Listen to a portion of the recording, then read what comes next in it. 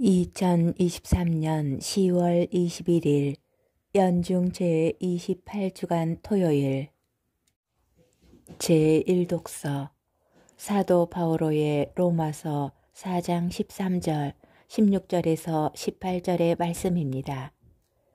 형제 여러분, 세상에 상속자가 되리라는 약속은 율법을 통해서가 아니라 믿음으로 얻은 의로움을 통해서 아브라함과 그 후손들에게 주어졌습니다. 그러한 까닭에 약속은 믿음에 따라 이루어지고 은총으로 주어집니다. 이는 약속이 모든 후손에게 곧 율법에 따라 사는 이들 뿐만 아니라 아브라함이 보여준 믿음에 따라 사는 이들에게도 보장되게 하려는 것입니다. 아브라함은 우리 모두의 조상입니다. 그것은 성경에 내가 너를 많은 민족의 조상으로 만들었다 라고 기록된 그대로입니다.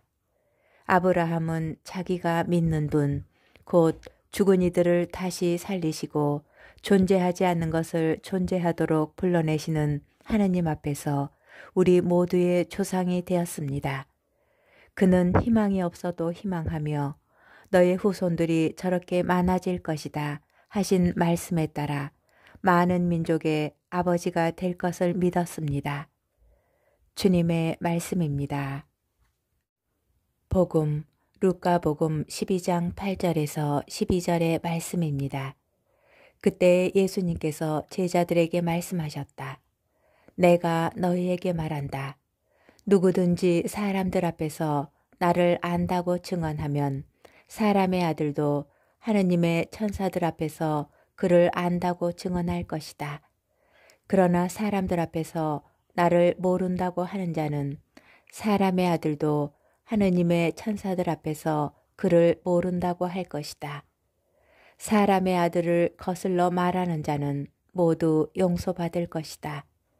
그러나 성령을 모독하는 말을 하는 자는 용서받지 못할 것이다.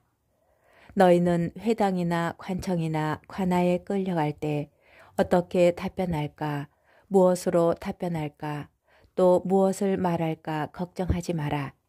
너희가 해야 할 말을 성령께서 그때에 알려주실 것이다. 주님의 말씀입니다. 오늘의 묵상. 오늘 복음은 어제 복음에 이어지는 예수님의 가르침입니다. 이틀 전 목요일 복음에서 언급된 제자들의 운명에 관한 예고는 예수님께서 제자들을 가르치시는 배경이 됩니다. 박해의 상황에 놓인 제자들에게 예수님을 안다고 증언하도록 요청합니다. 루카복음 12장 8절에서 9절에서 표현된 예수님의 말씀은 매우 선명한 대조적 평형 관계를 이루고 있습니다. 예수님께서는 사람들 앞에서와 하느님의 천사들 앞에서를 나란히 배제하시고 반대 의미를 가진 단어들 곧 고백하다와 부인하다를 각각 되풀이하시며 서로 대조시키시어 땅에서 이루어지는 고백이 하늘에서 보상으로 이루어진다는 메시지를 전달하십니다.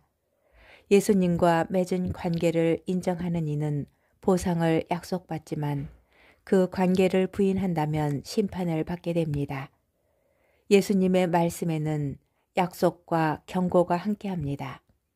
루카 복음서 저자는 예수님의 경고에 이어서 예수님의 위로를 전하고 있습니다.